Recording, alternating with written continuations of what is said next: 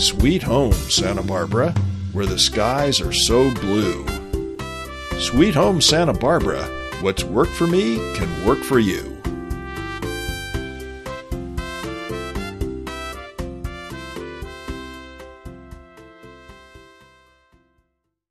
Well, welcome back, friend, to Sweet Home Santa Barbara. I'm your co host, Jonathan Robinson, and I am with my friend and realtor, Scott Williams.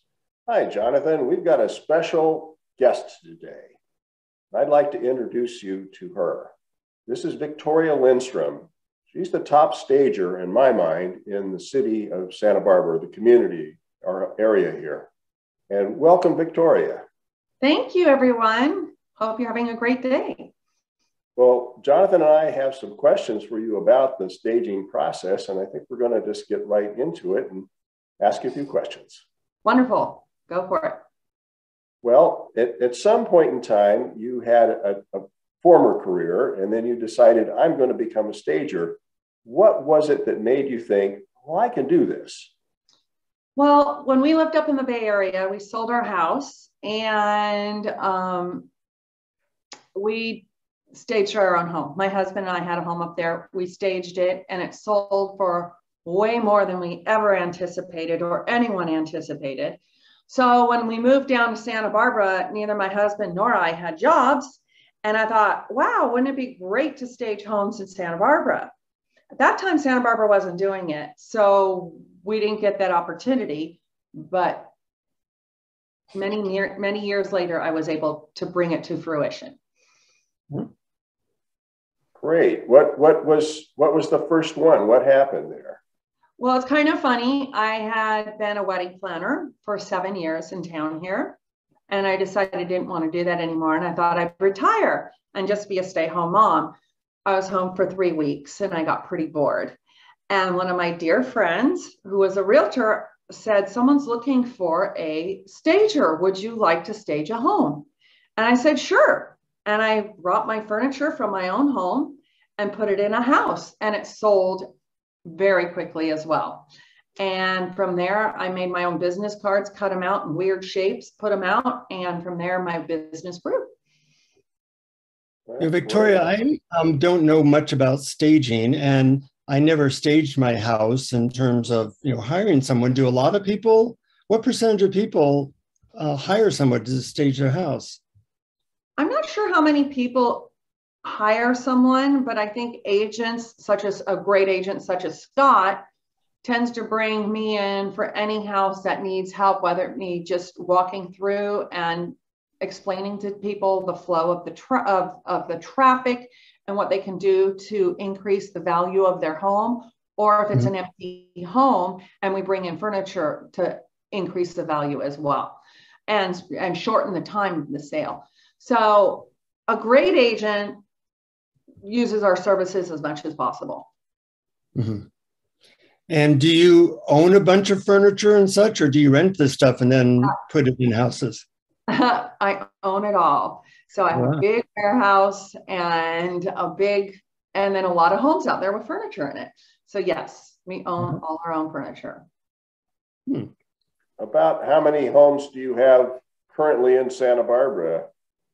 I can stage up to 80 homes at a time, but because the market is so tight right now, as you know, I think there's only 80 something homes on the market right now. Right now, we only have about 30 something homes, 32 homes, I think it is, but um, which is low for us, but inventory is low in general. So percentage wise, we're about the same as usual, but number wise, we're lower. That's still uh, that's an amazing percentage. That's almost forty percent of the market is being staged by Victoria at yeah. this moment. Yeah, it's a lot. So, I'm curious, and hopefully it's okay to ask. How do you charge people? Is it by the house? Is it by the hour? Is it by the size of the house? What? How do you it's do by that? the size of the house. So generally, I look at the square footage and determine from there how much I charge per the square foot. We found uh-huh. to be the easiest way of doing it. Do you have a way of knowing?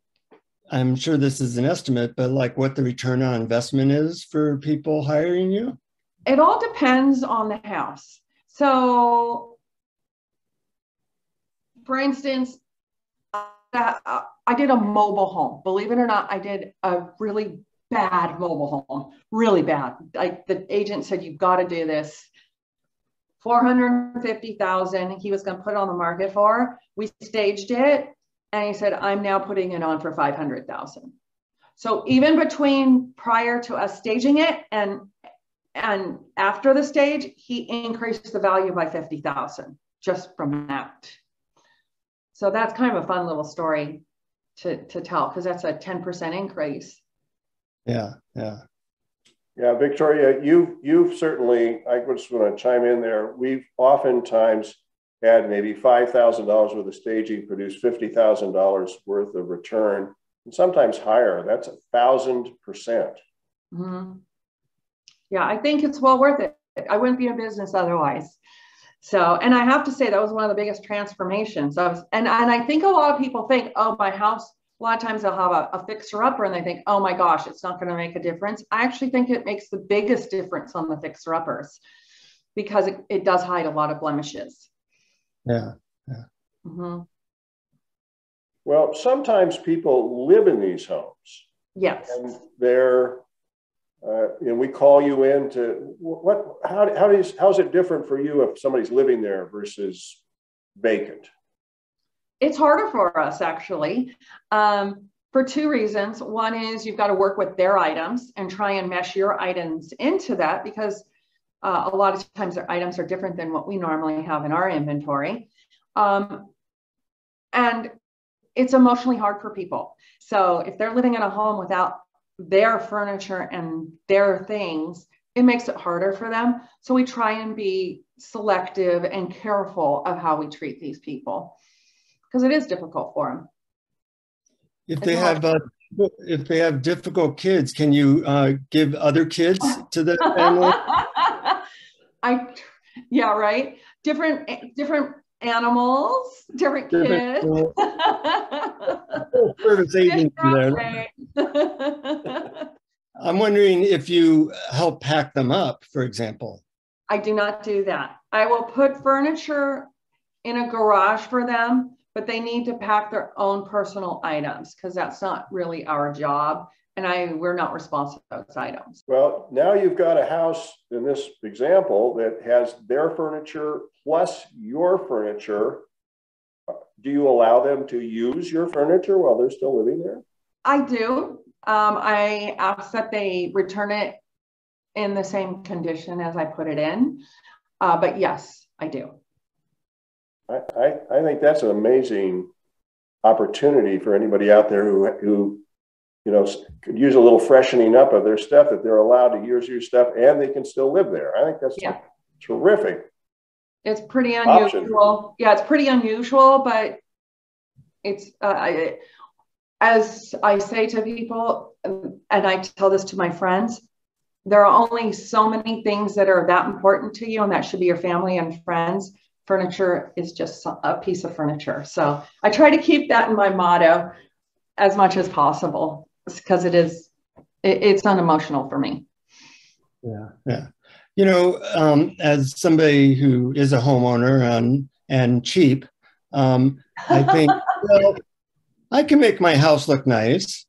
And mm-hmm. uh, so how do you convince people or why what do you tell them why it's better to hire you as opposed to just them put some dollars into making the house look nice? I don't always do that. Sometimes I do tell them to put their own money into their house. If I feel like it's a better value for them to do that, I'll I'll be honest and tell them to do that. Let's say they only need pillows and bedding and a couple pieces of art and a lamp, and it's cheaper for them to do that. Then I'll I'll make a list for them and hmm. say, you know, put a lamp there, get pillows there, put a bedspread here, it's going to be cheaper for you to do it. So I am very honest about it because my goal is to help them sell their home and uh-huh. the realtor help them sell their home. And do you uh, charge like a, a, a, consulting fee just for that? No. Oh, that's no. nice. Yeah. I mean, I work with these agents all the time. So my goal is to help the agent sell the home. So if uh-huh. I do this every once in a while, I do it every once in a while. It's just part of business. It's a win-win for everyone. Yeah. Well, you know, Scott and I have uh, more questions, but we also try and keep these podcasts to about 10 minutes.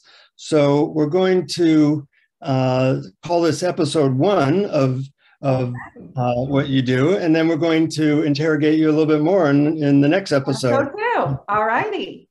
Very interesting, and uh, we'll see you back for the next episode of Sweet Home Santa Barbara, where we ask Victoria some more questions about how to stage a home successfully. See you soon. Thank you. So we're going to have a, a second episode, but for those people who want to contact either Scott or Victoria. Scott, why don't you tell them how they can contact you and then uh, also how they can contact Victoria? Well, the best way to get hold of me is to use my email, scott at scottwilliams.com. And the best way to get Victoria is to hire me so that you get Victoria to do your house because she is wonderful. But if you decide you have to use another realtor, you can still hire Victoria Lindstrom of Dramatic Choices that's her company here in Santa Barbara. Sounds good. And uh, we look forward to talking to you some more, Victoria, on our next episode. Thank you for listening. Please subscribe to our podcast on your favorite app. If you know someone preparing to sell their home, please tell them about the podcast. Visit scottwilliams.com to contact me and download the two free e booklets. Is My House Saleable Now? and How Not to Buy a Money Pit. Thank you for listening.